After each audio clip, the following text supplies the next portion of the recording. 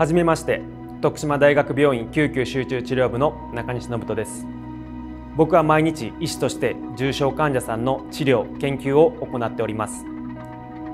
近年では医療も発展して多くの病気が治療可能となりました。重症患者さんにおいても交通事故肺炎心筋梗塞など治療はどんどん進歩しております。でも病気が治ればそれでいいのでしょうか？医療の本当の目的とは何でしょうか？僕は患者さんが社会に復帰して初めて治療が完結したと考えております。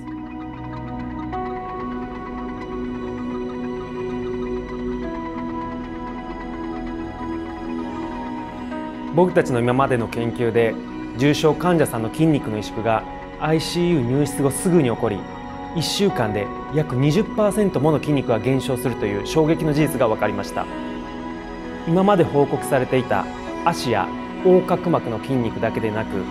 腕や肋骨を支える筋肉にも萎縮が起こるということを世界で初めて報告しました。つまり患者さんの社会復帰を目指すためには一部の筋肉に着目するだけでなく全身の筋肉の萎縮に着目して治療していく必要があります。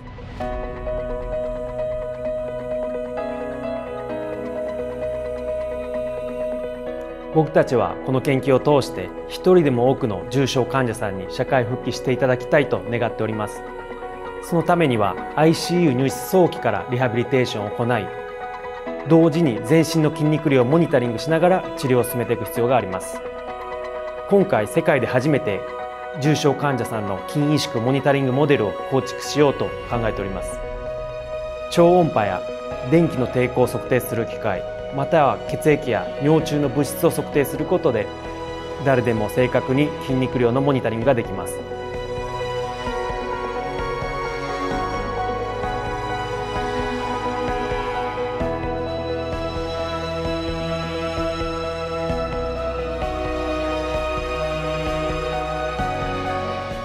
このプロジェクトを通して重症患者さんの筋萎縮予防に向けた原因診断治療に関する研究の発展を目指していきます。特に僕のような比較的若手の医師には研究費の確保が困難な状況にあります。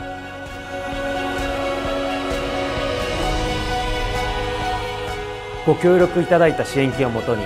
重症患者さんの希望となるような研究を行いたいと思います。このプロジェクトに賛同していただける方のご協力をお願いします。